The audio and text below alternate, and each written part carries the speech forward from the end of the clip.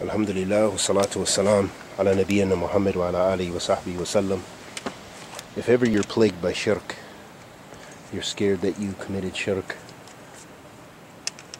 knowingly or unknowingly, is a beautiful dua or supplication of the Prophet sallallahu alaihi wasallam, which is an expiation and a plea to your Lord subhanahu wa ta'ala. And in fact, a dua huwa ibadah, kama qala Nabi sallallahu alaihi wasallam, that supplication is worship. So always supplicate to Allah subhanahu wa ta'ala often.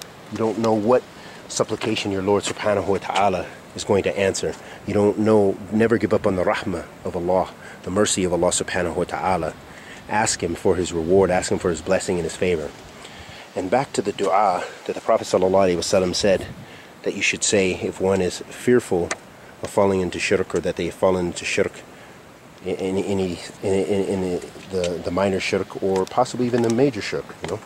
But we have to be cautious. The major shirk takes you out of the fold of Islam and will require that we repent to Allah subhanahu wa ta'ala. The Prophet said a beautiful dua Allahumma inni a'udhu bika an ushrika bika wa ana a'lamu wastaghfiruka lima la'alamu the Prophet wasallam supplicated to his Lord tabaraka wa or said that we should supplicate to Allah subhanahu wa ta'ala with this dua and it is O Allah Allahumma inni a'udhu bika. O Allah I seek refuge in you.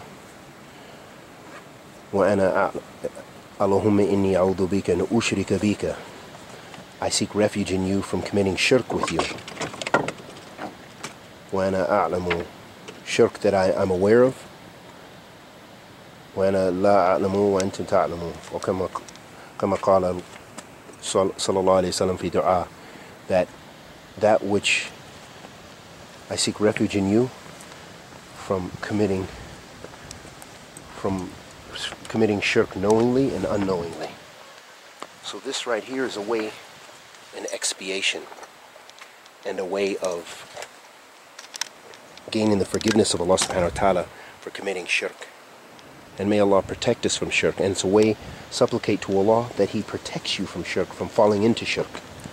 That which you do knowingly and that which you do unknowingly.